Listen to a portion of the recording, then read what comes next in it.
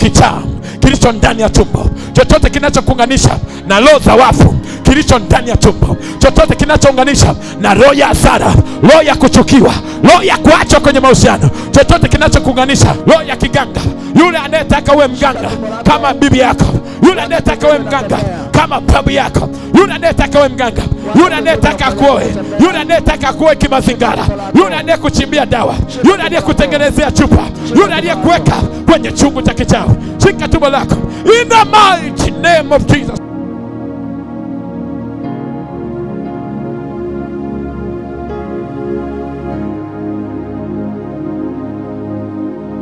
Mzee anatembea, mzee anatembea vizuri. Shere baba papa, unaona Yesu amemgusa ta shere boli. Yesu amemgusa, Yesu amemgusa, Yesu amemgusa.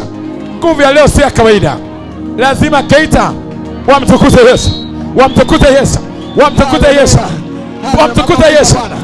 Yes, shere babosata patara pakata patara paposa rekesota.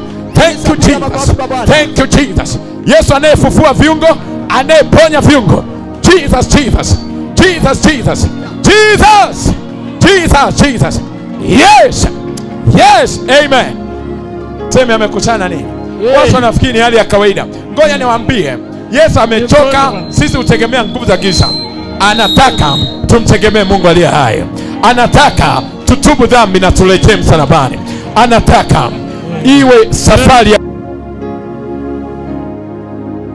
nina masoko shataba. Mtu wa Mungu, nabii muujiza mahali hapa mkubwa sana Mungu amefanya. Baba huyu anasema kwamba alipo mahali hapa, anasema kwamba alikuwa hawezi kutembea, lakini anasema kwamba baada tu ya maombi mafupi amefunguliwa kabisa na ana uwezo wa kutembea. Anamshukuru Mungu. Mshangilia Bwana. Kwa kweli ninajisikia vizuri, Eh, sio kama zamani. Zamani ilikuwa siwezi kutembea, Ulikuwa huwezi kutembea. Yeah, let's go, siwezi kutembea. Jesus, unusual anointing.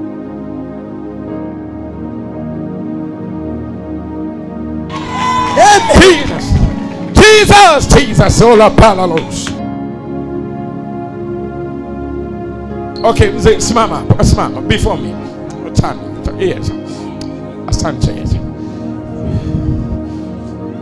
Unaona